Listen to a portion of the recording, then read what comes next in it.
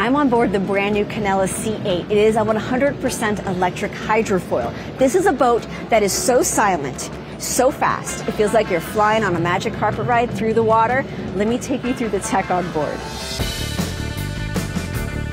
This is really sustainable waterborne travel here. You're going to fly silently above the water and the waves with hydrofoils.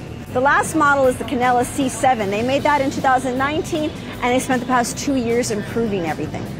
This cruiser here is about 28 feet long and the range gets you 50 plus miles. That's in a good comfort zone for most boaters who don't typically go more than 50 miles when they take their boat out. Let me give you a little tour of underneath the boat and how the hydrofoils work because I became a little expert today in how this all operates. Think of it no different really than how a Segway would balance you uh, because it is constantly shifting and moving depending on how the waves are and how the environment is to keep this boat balanced and keep it flying on the water. So these are the hydrofoils and the computer system and all the sensors are constantly keeping this baby steady, having you fly down. And what's also something to think about, if you want to put this boat on a trailer or beach it, well, these aren't always sticking out. They just kind of tuck on in that little garage up there. The batteries are not much different than a electric vehicle. And if you're wondering how long does it take to charge, you're looking at two to two and a half hours to charge the whole thing. And then I want to show you the engine. This is pretty cool. They built their own propulsion system. This is a very efficient marine engine. And that's unique because normally when you're dealing with a boat, uh, they're buying their engine from someone like Yamaha. These guys have everything tucked into this. It's battery powered.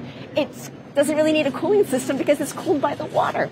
The top speed, 30 knots. And this whole system is reducing water friction by 80%. It's really cracking the code for electric powered, long range, high speed travel at sea.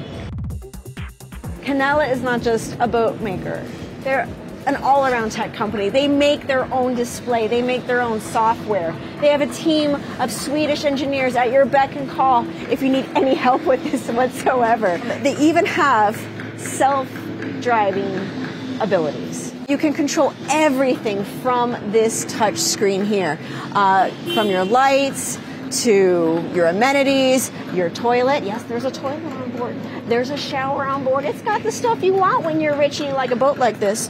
And here are your basic control buttons too. Look at those windshield wipers. I love it. This bad boy starts at $390,000. So it's a bit pricey. But you know, this isn't just for the super rich. This tech is going to help your life too. Because it's something where we're seeing it slowly being introduced in the concept of water taxis. It's being introduced first in Stockholm. It is a 30 person all electric water shuttle. And they're looking at taking that tech to other municipalities. You could be seeing this in New York or San Francisco. You'll start to see the Candela C8 hit the waters later this year. Let me know in the comments below deck what you think of it. Until next time, thanks for watching. Oh, she's a beaut. Just sail on through the rest of the show, right? Mm-hmm.